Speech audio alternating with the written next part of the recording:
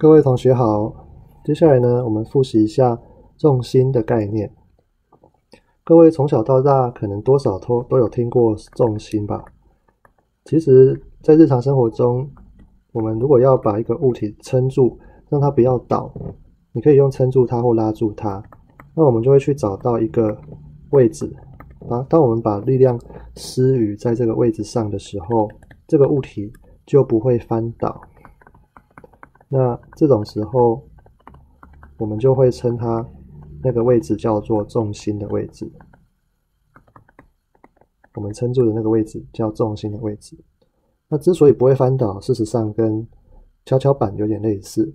像我们在左边这一张图，右边这张图，右边这张图呢，有两个物体在一个跷跷板上。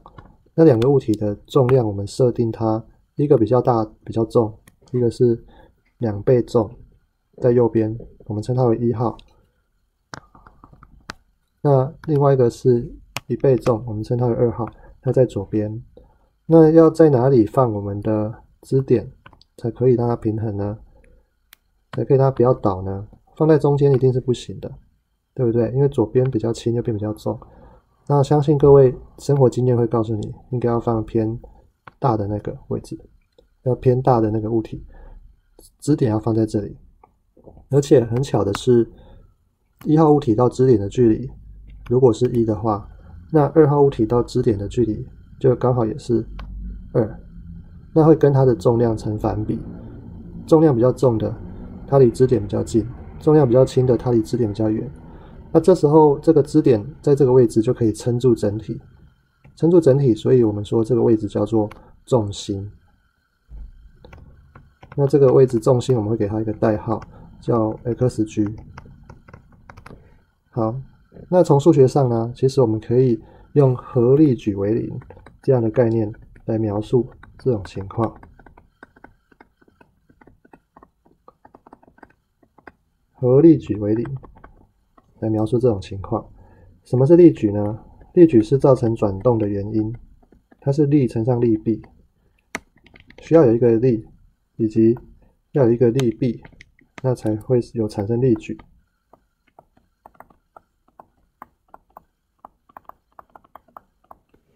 好，所以今天如果我们是以重心为参考点，比如说重心的位置叫做 A，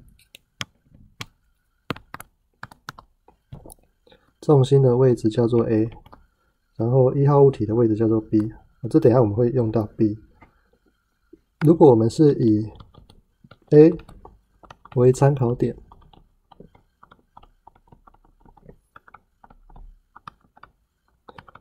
那我们来看看这个物这个系统这两个物体以及重心，它们所含有的力矩是不是零？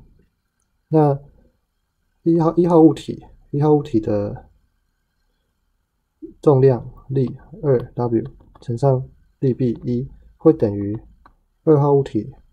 的重量一去乘上它的力臂二，这是我们以前小时候学过的杠杆原理嘛？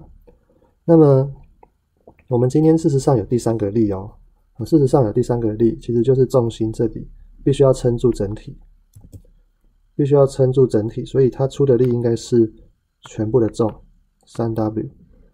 那我们可以把它考虑进来，变成怎么样呢？就是我们把它移项。变成一号物体的重乘上一号物体的力臂，去加上二号物体的重，去乘上二号物体的力臂，然后等于总共的重量去乘上零。那今天因为今天因为我们的三 W 它就是刚好在支点上，在支点上力臂就是零。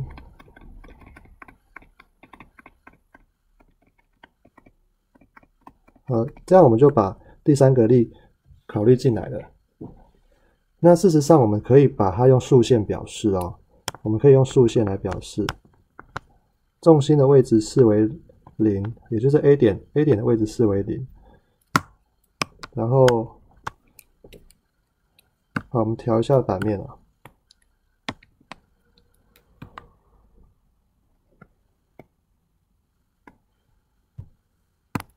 A 点的位置视为原点，那一号物体的位置就是距离一嘛啊，所以这里就是正一。二号物体的位置是距离二，但是是往左边，所以是负二这样子。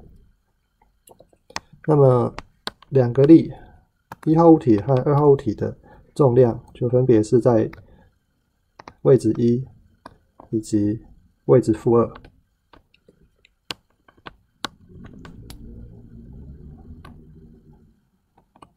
然后三号物体，不是三号物体，三 W 总共的重量则是作用在作作用在零的位置啊，所以它的力臂就当然是零了。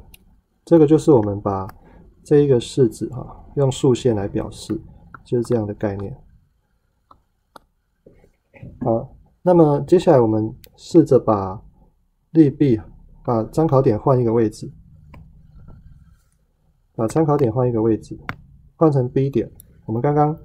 要把 B 写出来，就是为了这时候，我们把参考点换到 B 的话，然后不要去动到所有的力，所有的力还是在，只是数学上把参考点换到 B 点而已。这样子，那所有的力还是在，只是把零点换到了负二。那把零换到了负二的话，原本的零的位置哈，就会变成是。正二对不对？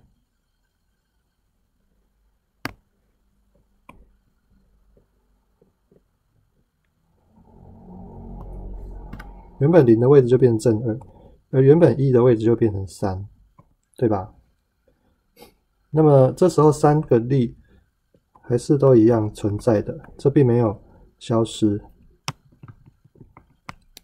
毕竟我们只是换一个参考点而已。要注意，我们并不是换支点，我们是换参考点。参考点是数学上的一个参考的位置，而支点则是真实在物质世界的支撑点。好，那我们以 B 为参考点的话呢，我们可以再算一次例举，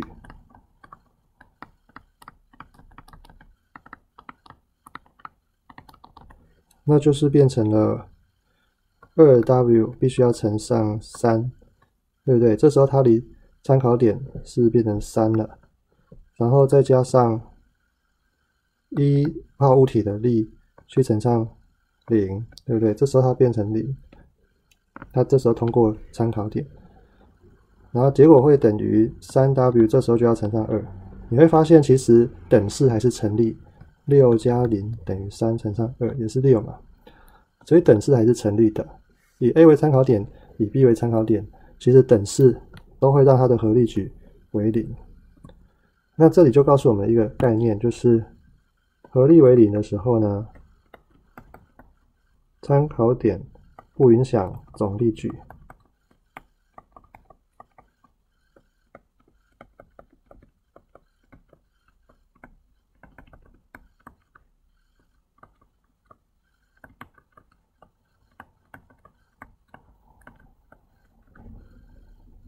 不影响合力矩，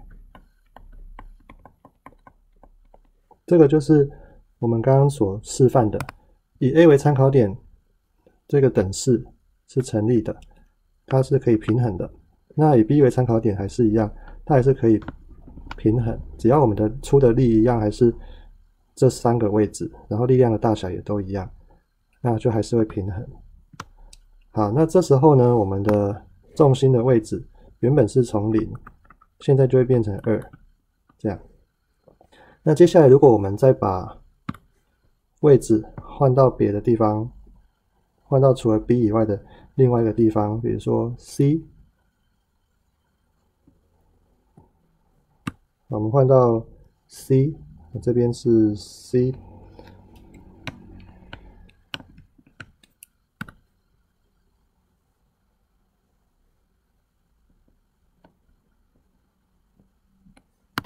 那这是 C 点，那这一次呢，我们就直接用代号来表示好了，那就是 C 点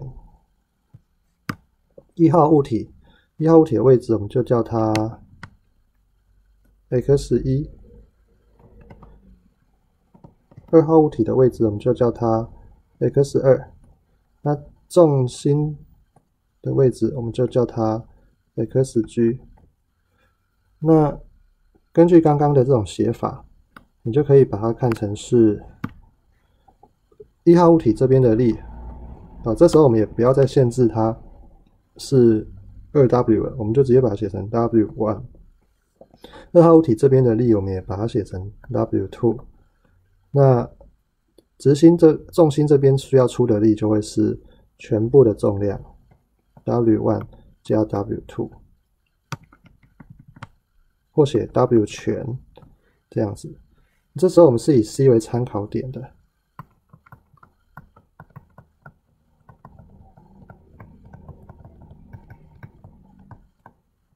然后我们再算，再用类似的方法再写一次力矩的平衡，那就写成 W one 去乘上 X one 去加上 W two 乘上 X two，然后会等于。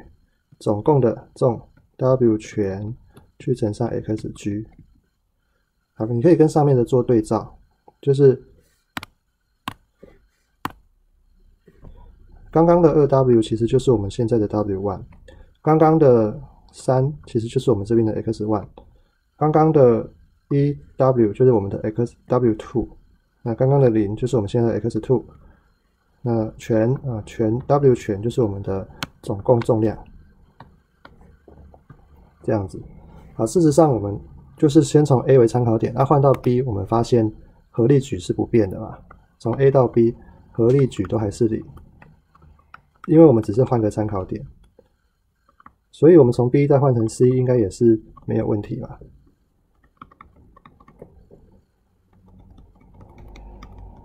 啊，所以换成 C，把参考点换到 C，这应该是没有问题的。那这么一来，其实我们就把重心的位置找出来啦。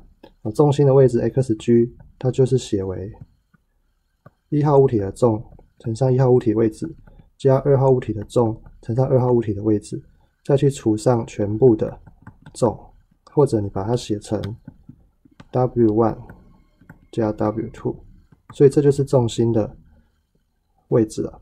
那它可以推广，可以推广至。有第三个物体进来造成力矩，或第四个物体进来造成力矩，所以它可以推广为这样子：w one x one 加 w two s two 加 w three x three 加点点点点点，然后底下一样要全部的重量全部加起来。好，到这边我们就介绍了重心的。公式了。